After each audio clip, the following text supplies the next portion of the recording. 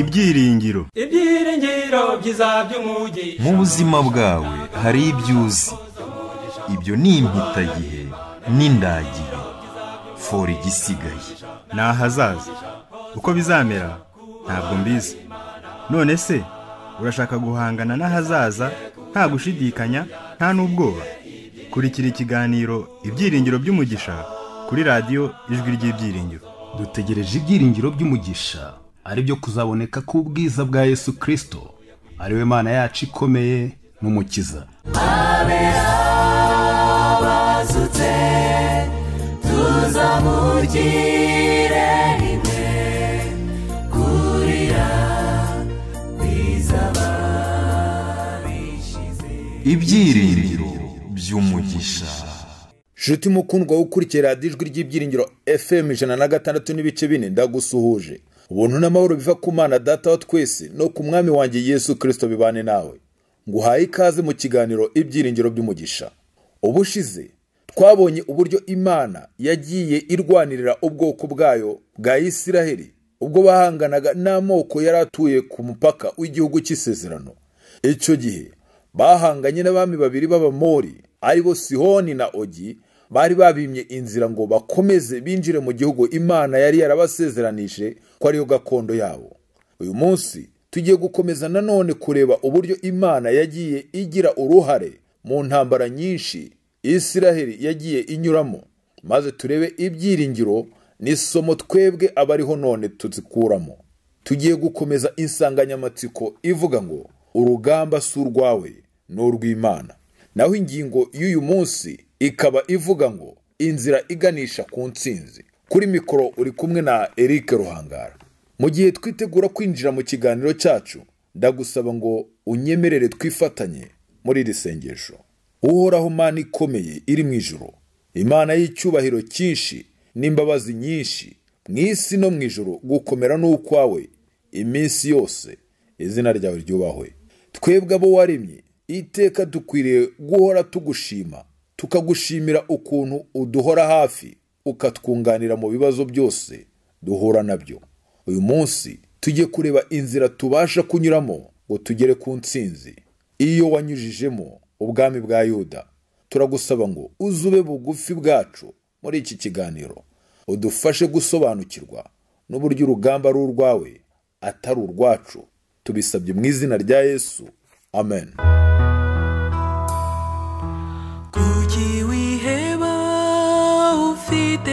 Yesu kuki ubabazwa n'iby'iyi si ese ntuzi ko yesu azi ibyawe?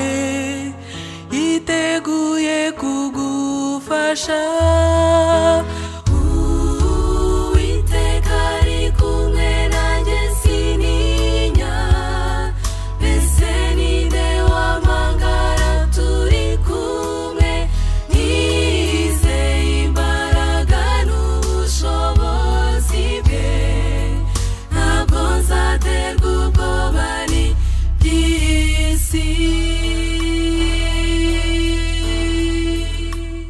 ni radiyo ijwi ry'ibyiringiro fm ijana na gatandatu n'ibice bine. Turi mu kiganiro ibyiringiro by'umugisha. Insanganyamatsiko yacu ikaba ivuga ngo urugamba si urwawe ni urw'imana.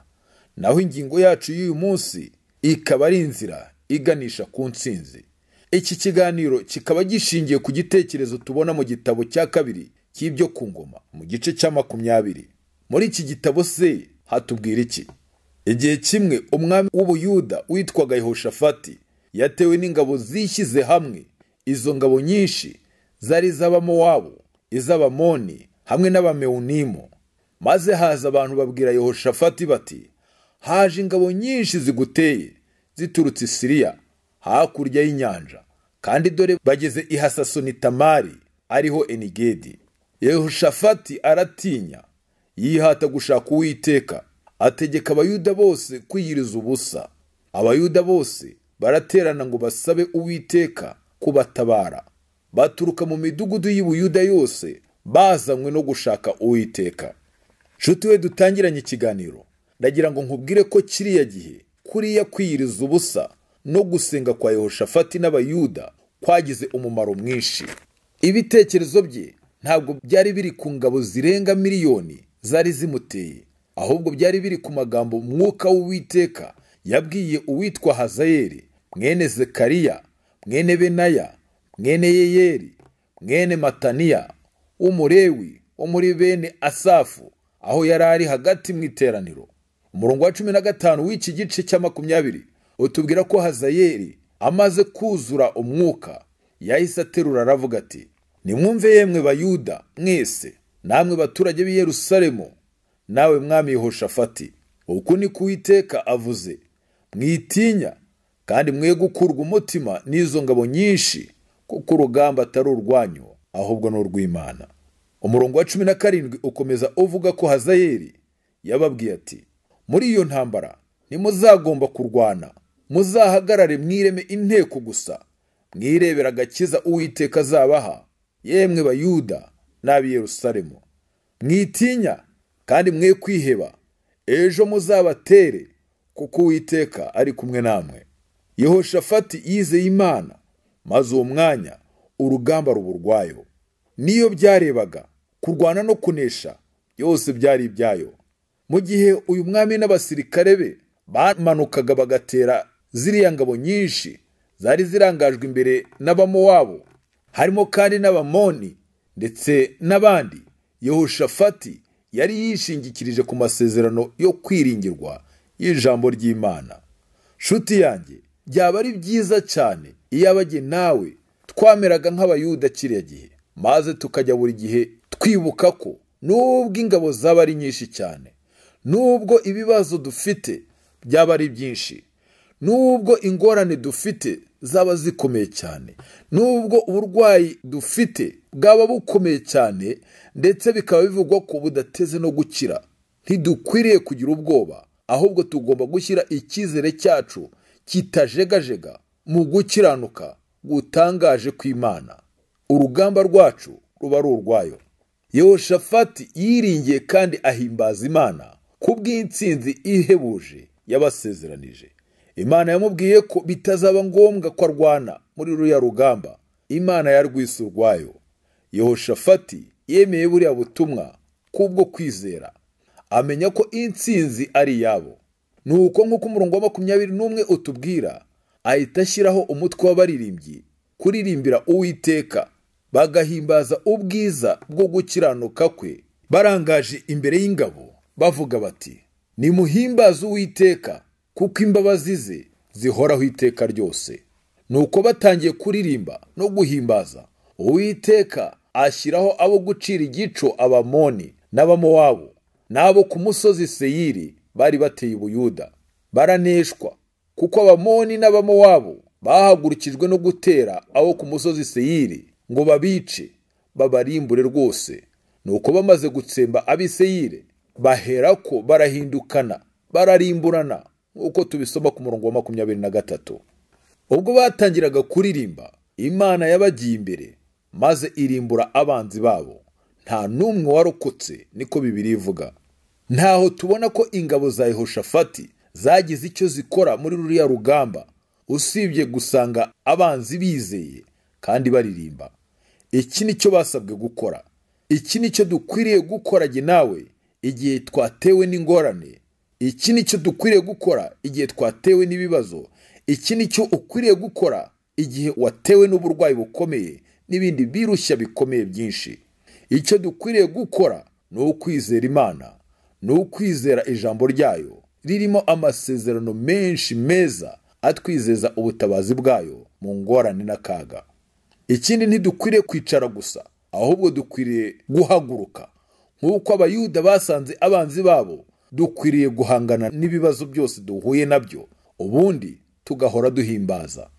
Nta kintu na kimwe gikwiriye kuducecekesha kikatubuza guhimbaza imana haba mu kababaro haba mu byishimo haba mu ngorane haba mu burwayi mu ntege nke zacu tugomba guhimbaza uwiteka. Tukanezererwa mu mana y'agakiza kacu. Nubwo twaba tutabasha gusohora ijwi ni ukuvuga nk'igihe umuntu arwaye arembye rwose dushobora gusaba ababishoboye bakaririmba icyubahiro cy'uwiteka n'ineza ye nyinshi cyangwa tukamuhimbaza mu ijwi ryo mu mutima. Mu bibaho byose tugomba guhora dushima. Yuda yagiye ku rugamba iririmba. Ibi wabyita kuramya imana. Bariya baririmbyi bashyizweho bateye hejuru. Bahimbaza uwiteka kubw'imbabazi ze zihoraho. Baririmbye bashingiye ku mibanire yabo bwite n'imana. Mu gihe baganaga ku rugamba basa naho bubatse urusengero rutagira inkuta.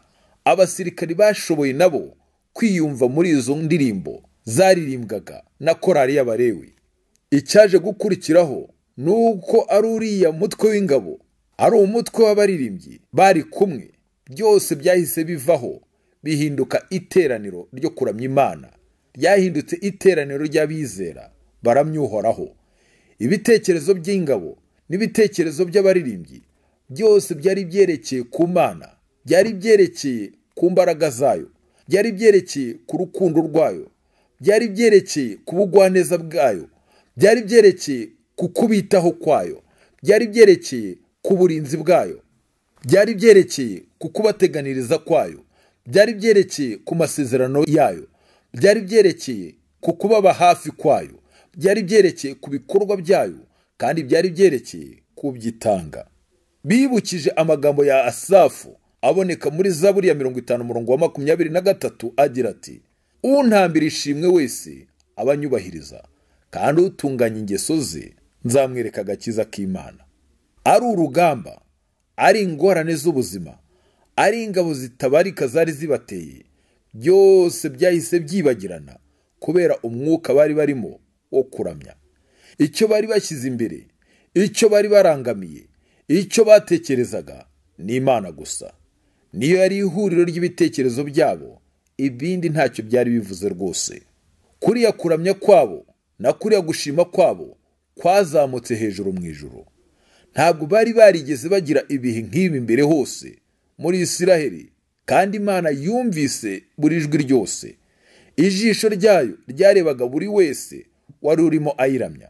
Ijisho ryayo ryarebaga buri mutima wose. Sinzi niba wiyumvisha uko ibintu byari bimeze kiriya gihe. Gerageza nawe wumve ariya majwi yatorejwe guhimbaza mu rusengero mu rwunge rukomeye. Wongereho n'ay'abamarayika yose ahimbaza icyarimwe uwiteka kuko imbabazi ze zihoraho iteka ryose. Nshuti wowe nkurikiye ndagira ngo nkubwire ko babashije kugera ku ntsinzi kubera kwizera kwabo no kuramya kwabo. Kwizera kurakomeye kurenza ingabo zirenga miliyoni zari zibateye. Kwizera kurakomeye kurenza ubukana bw'intwaro za kirimbuzi. Kwizera kurakomeye kurenza ibibazo byose. Kwizera kurakomeye kurenza uburwayi bwose. Kwizera kurakomeye kurenza akaga kose ushobora guhura nako muri ubu buzima. Kwizera gushyira mu bikorwa ibyo umuntu yizera noneho nta cyaguhangara abayuda barizeye barangije baramya uwo bizera bibabyarira intsinzi batarwanye. Tekereza nawe ingabo zijya ku rugamba zirangajwe imbere na korari ibi bisa naho bisekeje.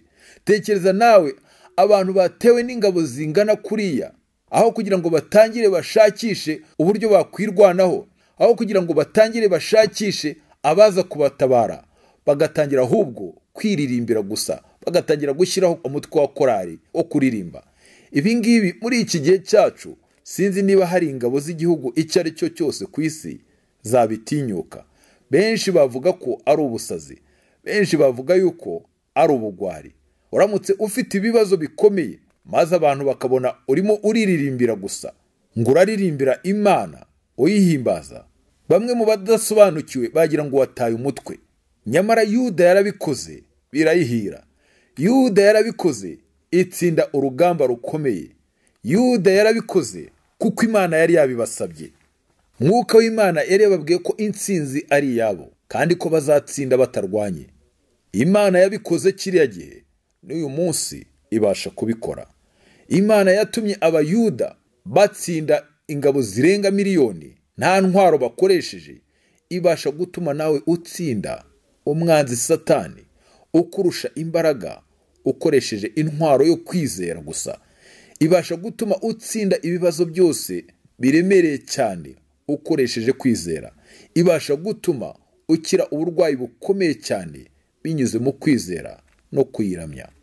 Iyaba buri kantu kose kiriya nkuru kabashaga gusobanukira abana b'imana bo muri iyi minsi twazahabwa umugisha ku rwego ruhanitse kandi tukaba intwari mu ntambara zinyuranye duhura na zo hano mu isi.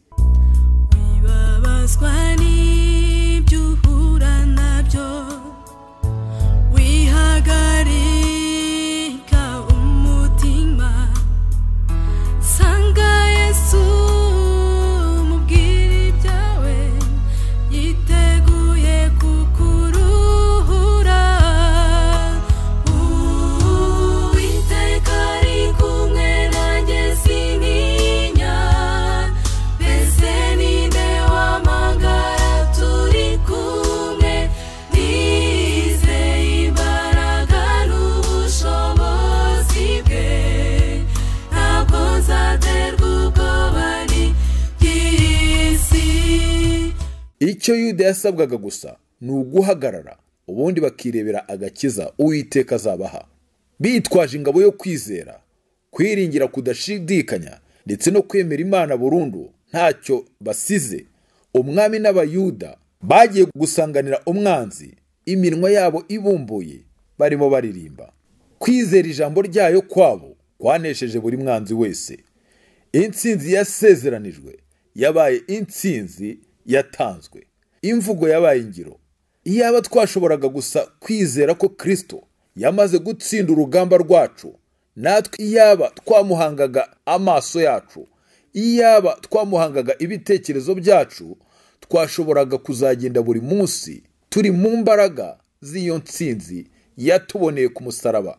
Twiringiye ko turi abaneshi kubera ko urugamba ari urwe. Ahari ushobora kumbaza utese yaba ari uriya muziki wa korari watumye umutima w'imana ukanguka igafata icyemezo cyo kubarwanirira. Imana yabasabye kujya ku rugamba hanyuma ibizeza intsinzi nta kintu na gito ibasabye kuyikorera. Nta musirikare wabo n'umwe wigeze agira umwanzi n'umwe yica. Ese byaba ariko bigenda no mu buzima bwacu uyu munsi? Mbese niko imana ikibikora? Mbese inshingano yacu niyo guhagarara gusa tukarebera gusa? N'uyu munsi ese n'uyu munsi intambara iracyari iy'uwiteka mu buzima bwawe byifashe bite? Nshuti wowe nkurikiye tuzakomeza turebe ibya ruriya rugamba ndetse n'abo rwarebaga b'ingenzi ari bo yehoshafati n'abayuda kugira ngo turebe ibikorwa by'imana n'umurimo wayo mu mibereho y'abana bayo mu bihe byashize. Tugire icyo tuhigira mu mibereho yacu y'uyu munsi. Tuzakomeza gushakisha kugira ngo tumenye neza niba uburyo yakoreshaga kera bwarahindutse bityo tubashe gusubiza biriya bibazo nzamuye mu kanya. Reka duhere ahari ku mibereho ya yehoshafati. Ese ubundi yehoshafati? Yari muntu ki yaranzwe n'iki? Yakoze iki kindi kivugwa muri bibiliya? Umwami wa kane w'ubwami bwa yuda yehoshafati yabaye ku ngoma mu mwaka wa magana inani na mirongo irindwi na kabiri mbere ya kristo kugeza muri magana inani na mirongo ine n'umunani mbere ya kristo. Yatwaye imyaka hafi makumyabiri n'itanu. Aha ndakwibutsa ko mbere y'ivuka rya kristo babaraga imyaka bahereye hejuru bagana hasi baheraga ku mubare munini bagana ku muto. Muri kiriya gihe yehoshafati yari ku ngoma we n'abaturage be bari barahundagajweho imigisha y'imana. Yatanze ku myaka mirongo itandatu y'ubukuru urumva ko yapfuye akiri muto. Ibi ni igihamya gikomeye cy'uko isezerano ryo kurama ritagomba gufatwa nk'ingororano yo gutungana. Ntabwo isezerano ryo kurama rigomba gufatwa nk'ingororano y'ibikorwa byiza. Isezerano ryo kurama ntabwo rikwiriye gufatwa nk'ingororano y'ubuyobozi bukomeye. Ntabwo kandi isezerano ryo kurama rikwiriye gufatwa nk'ingororano y'umuhati mwiza cyangwa se kwitangira umurimo. Igihe cyasezeranywe cyo kurama tukibona muri zaburi ya mirongo cyenda umurongo wa cumi aho avuga ngo iminsi y'imyaka yacu ni imyaka mirongo irindwi. Ariko kandi nitugira intege nyinshi ikagera kuri mirongo inani. Dukurikije iyi myaka turabona ko kurama atari inyishyu. Ntabwo ari na cyo biba bigendereye kuko yehoshafati atabashije kugeza kuri iriya myaka mirongo irindwi yavuze. Umuntu yavuga ko yapfuye akiri mutoya ugereranyije n'imyaka y'abasaza tumenyereye muri iyi minsi. Bivugwa ko yehoshafati yabanje gutegekana na se witwaga asa wamaze imyaka mirongo ine n'umwe ari ku ngoma. Asa yaje kurwara indwara y'ibirenge ubwo yari amaze imyaka mirongo itatu n'icyenda ari ku ngoma. Uko bigaragara iki gihe yehoshafati ni we wakoraga imirimo imwe n'imwe y'umwami kuko se atarakibashije. Birashoboka ko ibi byafashije yehoshafati kuko asa yari yaramuteganirije kuzamusimbura. Uwitwa yoramu cyangwa se yoramu umuhungu wa yehoshafati nawe yategekanye na se nubwo byari mu buryo butandukanye nk'uko ise yatangiye gutegeka. Yehoshafati yamaze imyaka cumi n'irindwi ategeka wenyine ntawe bafatanije. Bibiliya ihamya ko yashimwaga mu bijyanye no kugendera ku ndangagaciro z'ibyamwuka. Igitabo cya kabiri cy'ibyo ku ngoma twasomye uyu munsi mu gice cya makumyabiri umurongo wa mirongo itatu na kabiri kimutangira ubuhamya bwiza ngo yagendanaga ingeso nziza za se asa ntateshuke agakora ibishimwa imbere y'uwiteka. Nubwo yehoshafati ataramye imyaka myinshi cyane iyo yabayeho niyo yategetsemo yayikoresheje neza.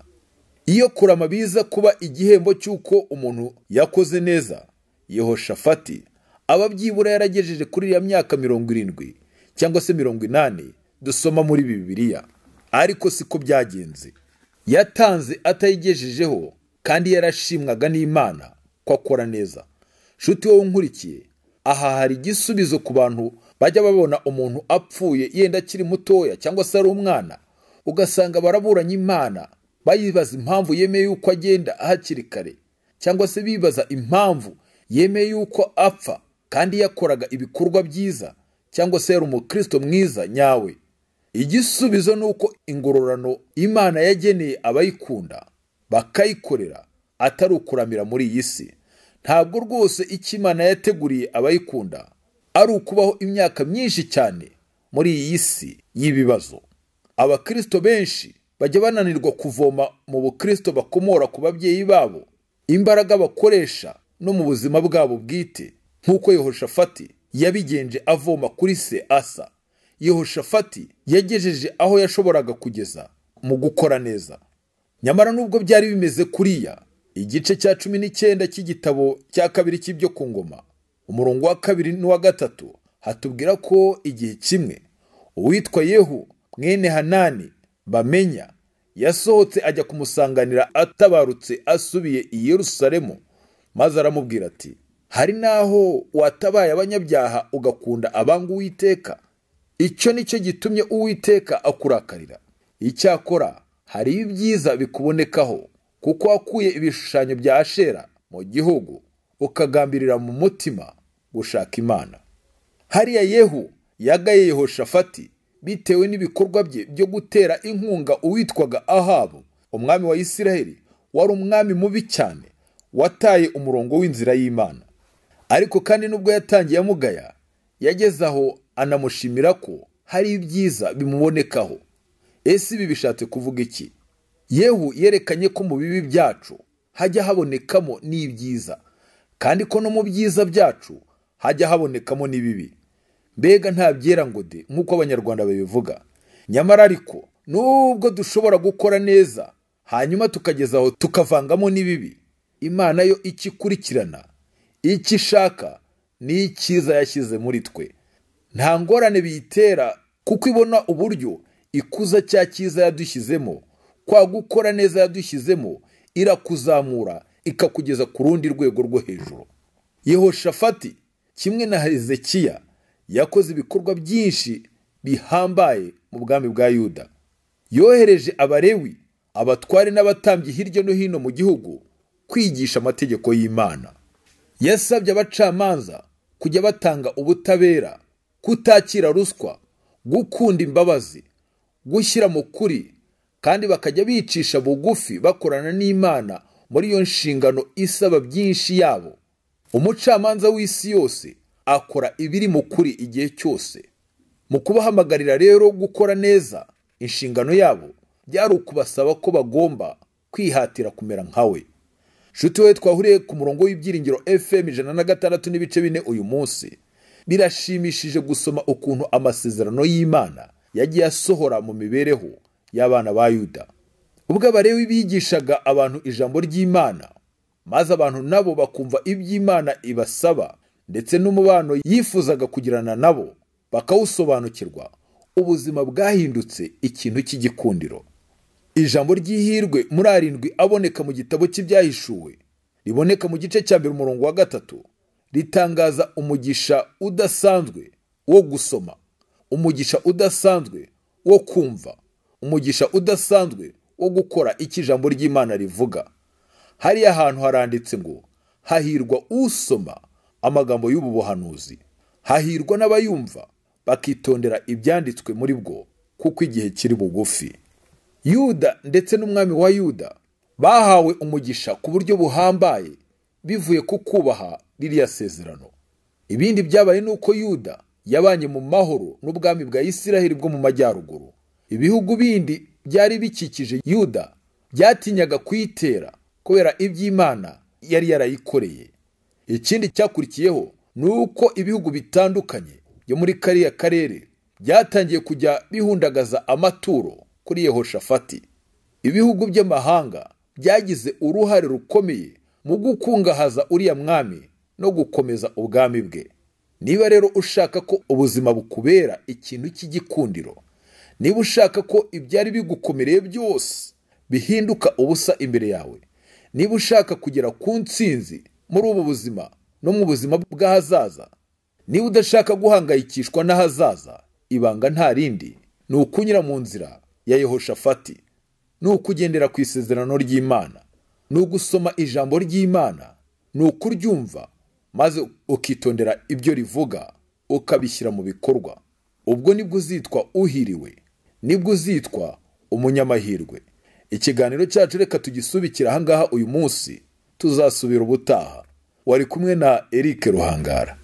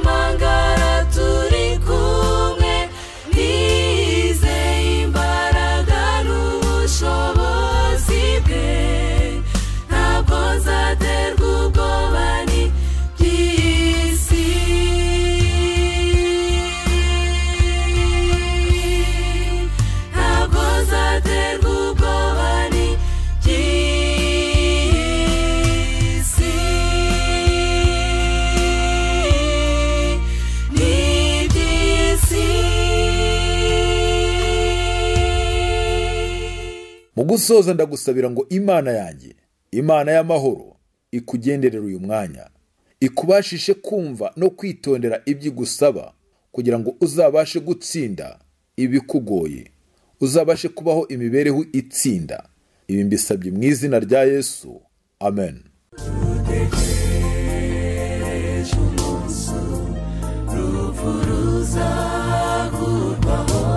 Ibyiringiro. Ibyiringiro byiza by'umugisha mu buzima bwawe hari ibyo uzi ibyo ni impitagihe n'indagihe fora igisigaye. Ni ahazaza. Uko bizamera ntabwo mbizi. None se urashaka guhangana n'ahazaza? Nta gushidikanya nta n'ubwoba. Kurikira ikiganiro ibyiringiro by'umugisha kuri radiyo ijwi ry'ibyiringiro. Dutegereje ibyiringiro by'umugisha. Ari byo kuzaboneka k'ubwiza bwa yesu kirisito ari we mana yacu ikomeye n'umukiza. Bazutse tuzamugire rimwe. Kurira bishize ibyiringiro by'umugisha.